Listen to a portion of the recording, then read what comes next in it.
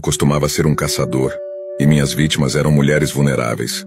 Sou Jack, o estripador, a encarnação do horror e do medo. No ano de 1888, eu vivia na Londres vitoriana. Eu testemunhei o contraste entre uma elite prosperando e o submundo sombrio de Whitechapel. Eu era uma figura sinistra, quase como um fantasma, atuando nas sombras. Conhecido como Jack, o estripador, eu me tornei um dos assassinos em série mais misteriosos da história. Minhas vítimas eram sempre mulheres pobres e desamparadas.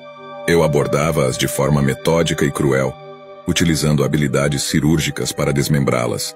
Criei uma atmosfera de medo e histeria na sociedade local, alimentada pelo sensacionalismo dos jornais da época, que estampavam os horrores dos meus ataques em suas manchetes.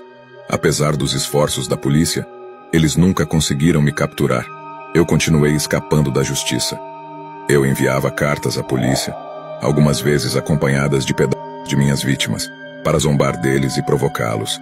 Eu sabia que os tinham na palma da minha mão, essa sensação de poder me dominava. Ao longo de três anos, onze assassinatos foram cometidos em Whitechapel e cinco foram atribuídos a mim.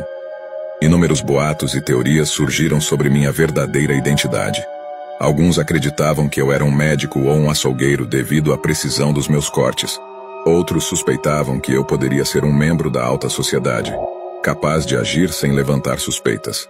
Apesar de todas as teorias e da prisão de alguns suspeitos, meu caso permaneceu sem solução. Minha verdadeira identidade continua sendo um dos maiores enigmas da história criminal, sendo discutida e debatida ao longo dos séculos.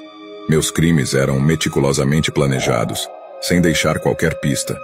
Tornei-me uma lenda do mal, um fantasma que aterrorizava a cidade, meu legado de sangue e horror ficou gravado na história.